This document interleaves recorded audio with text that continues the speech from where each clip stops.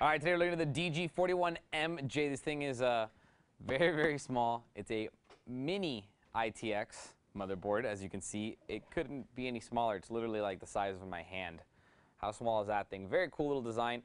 Socket 775. This thing will actually support just about any 775 processor up to a 65 watt uh, thermal barrier, pretty much up to 65 watt processors. That means basically a ton of quad cores, a ton of Core 2 Duos, all Celerons, all Pentiums, uh, pretty much all those 775 chips will work on this board. That means you can actually make a decently powerful little mini computer uh, using this type of technology, using this type of micro or mini ITX board. Um, it's so will support up to 8 gigabytes of RAM if you have 4 gigabyte DIMMs, but most likely you're going to use two 2 gigabyte DIMMs up to 4 gigabytes, and you're going to throw, let's say, a Q6600 on there, and you're going to have a computer. It's actually pretty fast, faster than most people's computers with a quad core in a package that's this small. I mean, this is like a coaster.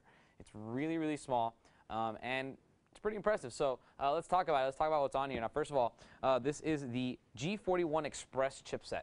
Um, so it's actually uh, built in right here, G41 Express chipset, um, and that basically has an integrated graphics chipset, and then it does everything else on its own. Um, it's basically a two-chip system, and then it has a south bridge. Uh, it's got uh, you know its own integrated graphics. You do have a DVI and a VGA. You have a serial port. I have no idea why.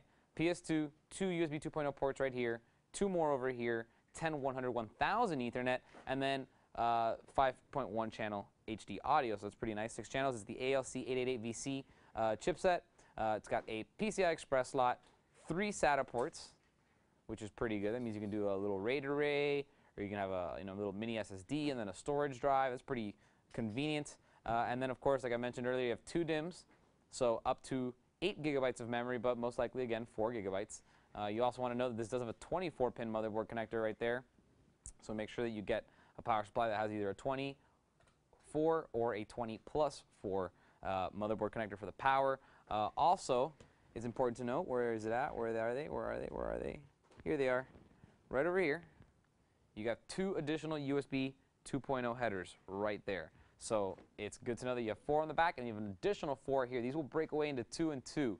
Uh, this is your your 12 volt power for your CPU. Make sure you have a four pin power supply. It's kind of the older ones. New ones that are super powerful are going to be eight pin, but of course you're not going to be putting a super powerful power supply in this computer because like you know motherboard is so tiny you wouldn't want to do that. It'd be kind of dumb. Uh, and that's basically it. What a great little motherboard. Comes with a three-year warranty, which uh, I really like. Three-year warranties are pretty rare in the motherboard uh, industry, so Intel's really backing this one. Um, if you want to put this on a mini ITX case, they they have mini ITX cases that mount with a VESA to the back of a TV or the back of a display. So you basically have a computer hanging off the back of the display.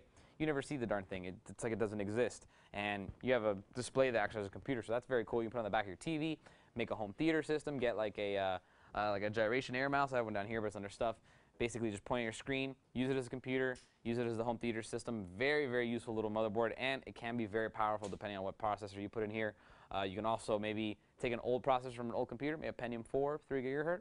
That'll work nice in here. So uh, sweet little board. It's the uh, DG41MJ from Intel. If you have any questions on it, feel free to email me, and I'll see you guys next time.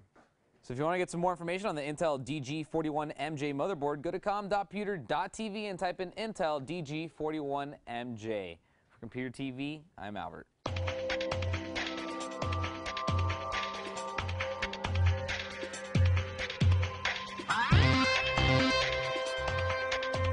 Bye.